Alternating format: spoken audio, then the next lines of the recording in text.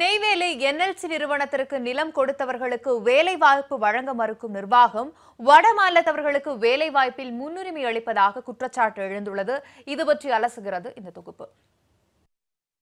கடலூர் மாவட்டம் நெய்வேலியில் ஆயிரத்து தொள்ளாயிரத்தி ஐம்பத்தி ஆறாம் ஆண்டு முதல் நெய்வேலி பழுப்பு நிலக்கரி நிறுவனம் இயங்கி வருகிறது. நிலக்கரியை வெட்டி எடுக்கவும் சுரங்கம் அமைக்கவும் நெய்வேலியை சுற்றியுள்ள வெள்ளையங்குப்பம் பெருமாத்தூர் வேலுடையான்பட்டு கூரைப்பேட்டை வெண்ணெய்க்குழி தாண்டவங்குப்பம் நெய்வேலி கங்கை கொண்டான் மந்தாரக்குப்பம் உள்ளிட்ட நூறுக்கும் மேற்பட்ட கிராமங்கள் நிறுவனத்தால் கையகப்படுத்தப்பட்டன. தொடக்கத்தில் நிறுவனத்திற்கு நிலம் கொடுப்போருக்கு வேலைவாய்ப்பு வழங்கப்படும் என அறிவிக்கப்பட்டது.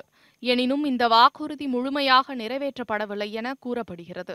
என்எல்சிக்கு நிலம் கொடுத்த ஐடிஐ படித்த மூவாயிரம் பேருக்கு ஆயிரத்து தொள்ளாயிரத்தி தொன்னூற்றி நான்காம் ஆண்டில் ஆறு மாதங்கள் அப்ரண்டிஷிப் அளிக்கப்பட்டது.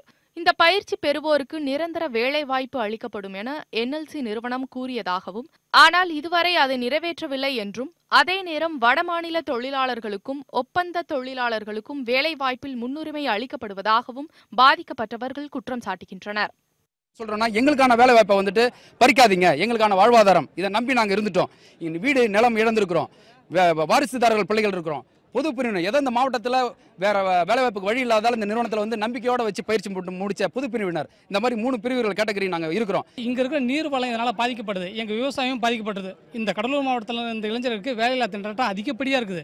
அப்படி இருக்கும்போது ரெண்டு மூணு பிரைவேட் நிறுவனம் வந்து வட இந்தியாவிலேருந்து ஆட்களை கொண்டு வந்து இங்கே கொத்துரிமையாக வேலை செய்யும் போது எங்களுக்கு வேலையில்லா திண்டாட்டமும் இருக்குது. ப்ளஸ் நாங்கள் செஞ்சிருந்த என்ன பூர்வீகமான தொழில் விவசாயமும் கெட்டு போச்சு. இந்த நீர் வளம் இல்லாதனால. சார் நாங்கள் என்எல்சியில் லேண்டு கொடுத்துருக்குறோம். லேண்டு மூலயமா எங்களுக்கு அப்ரெண்டிஸ் கொடுத்துருக்குறாங்க. அப்ரெண்டிஸ் சர்டிஃபிகேட் கூட எங்களுக்கு வெளியில் செல்ல மாட்டுது. அவங்க எடுத்துக்குவாங்கன்னு நம்பிக்கையில் நாங்கள் வந்து முடிச்சிருக்கிறோம். லேண்டு கொடுத்துருக்குறோம். எடுப்பாங்கன்னா வெளியில் இருக்கவங்களுக்கு கொடுத்துட்ருக்காங்க. அது புகாரை வந்து நாங்கள் மாவட்ட ஆட்சியருக்கு புகாரை கொடுத்துருக்குறோம்.